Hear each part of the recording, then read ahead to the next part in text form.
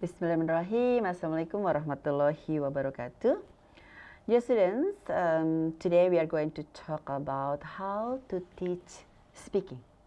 There are some outlines that I'm going to talk about during this meeting. The first one is the reasons for teaching speaking. The other one is the speaking sequences and then followed by the discussion and then more speaking suggestion correcting speaking, and finally, what teachers do during speaking activity. So let's start from the first topic. So why do we need to teach speaking? First, because speaking activities provide rehearsal opportunities for students. Of course, with teaching speaking, we can encourage students to practice speaking. And the other reason is that speaking tasks in which students try to use any or all of the language they know provide feedback for both teachers and the students. So with the speaking activities in the classroom, teachers will find out whether the students is already capable or not. And also students can find out whether they are already able or not in speaking. And finally, sorry, more students have more opportunities to active, the various elements of language they have stored in their brains. And the more automatic they use these elements, they become more fluent in speaking. And next, what are the speaking sequences? So I think uh, to find out more detailed information about this activity, I suggest you to check directly on the book from Jeremy Harmer with the title of How to Teach English, with the chapter of How to, uh, how to Teach Speaking.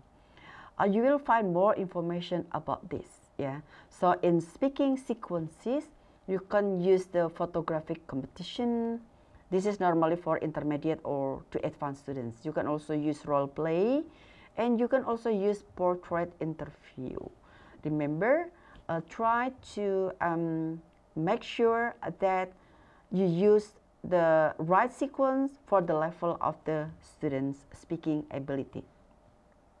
And then you can also use the activity such as discussion for speaking. This is a very popular activity for speaking. And you can also use other activities such as information gap activities, telling stories, favorite objects, meeting and greeting, survey, famous people, student presentation, balloon debate, and also moral dilemma. And what about correcting students speaking? Sometimes it can give complicated situation for the teacher. So this kind of gentle correction may take the form of reformulation where the teacher repeat what the students has said, but correctly this time and does not ask the students repetition of the correcting form. So in terms of correcting the speaking, sometimes the teacher should be wise whether the teacher should interfere the speaking activity directly or whether the teacher should wait until the students finish uh, practicing their speaking and then give the feedback after that. Of course, there are some weaknesses and also some strength. For example, if the teachers give feedback after the students finish uh, practicing of their speaking, probably the teachers forget about what uh, she or he is going to say. This kind of things. Right, so what teachers do during the speaking activity? So some teachers get very involved with their students during speaking activity and want to participate in their activity themselves. They may argue forcefully in a discussion or get fascinated by a role play or start playing themselves.